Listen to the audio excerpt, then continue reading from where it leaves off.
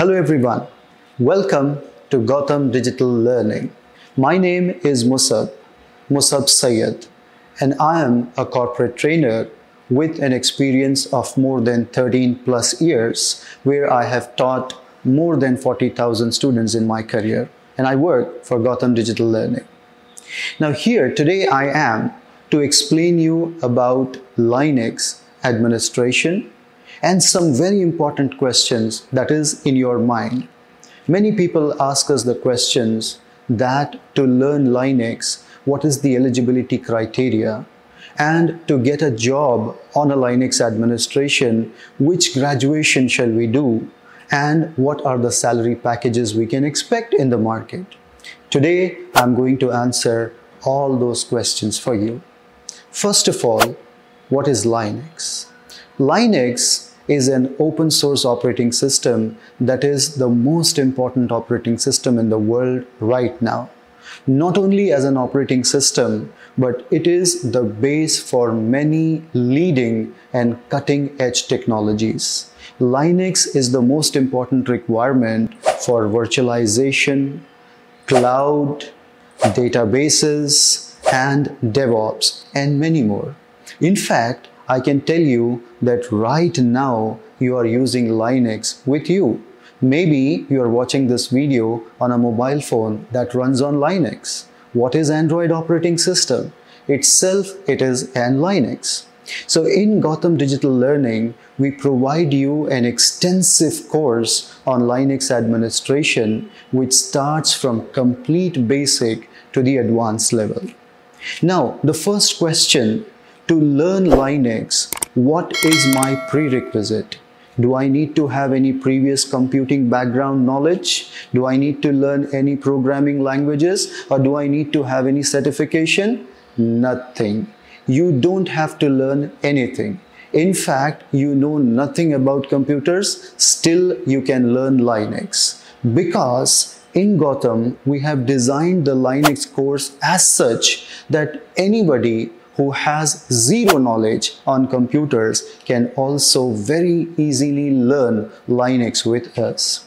Initially, first few days, we are going to explain you about Linux basics like what is operating system, what type of operating systems are there in the market, where Linux stands, how it evolved over a period of time, how to log in into Linux and do some basic operation. After that, we'll take you to some intermediate level where we'll try to learn how to install Linux operating system, how to deal with partitionings, how to deal with user administration, and very importantly, how to deal with networking.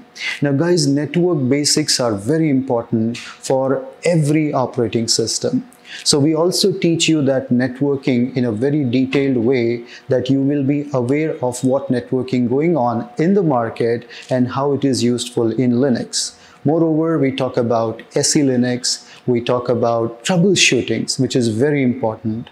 What if tomorrow your OS crashes, the Linux OS, how you can bring it back? What if you have lost the admin password, how you can recover it back? What if your system does not boot, how you are going to reinstall the bootloader? All that important troubleshootings we are going to teach you. Moreover, we are also going to teach you the important servers that is needed for many, many platforms like Yum or DNF server, FTP server, Samba server, DNS server, and all the other important servers. After this, to the advanced part, we are going to take you to something called the automation. In automation part, we take Ansible automation. Nowadays, guys, automation is very, very important. You go around and look, you are surviving across all the automations. When you go out, the traffic signals are automated. When you look at your houses, the street lights are automated. Everywhere automation is important. What if tomorrow you get a job and you have to handle 300 and 400 servers and you want to install a software or you want to create a user, will you be logging into each machine and doing it manually? Of course not. If you do that, you are very much outdated and you don't know how to manage automation. So with automation, hundreds and thousands of servers you can manage from one single end very easily. And your job will be made so easy you can handle more work in a very less burden way. So for this, in our Linux curriculum, we have Ansible automation course as well. So in Gautham, we are trying to give you the most cutting edge technology so that you must be ready with the market the requirements of the market, what people wants in the market, and you will be a hotcake in the market. Now, the question is, what are the eligibility criteria for getting a job? What graduation do you think you, you should have? Basically, a Linux administrator can be having any background of graduation. You may be BCom, you may be BCA, you may be BSc, or you might be any graduate of your choice. Secondly, you can be a postgraduate from MBA or MSc or any other platform that you like. What about the jobs and the salaries? See, as Linux is a very much dependent thing, there are huge number of jobs that is available. Now, I don't want it to say it by myself.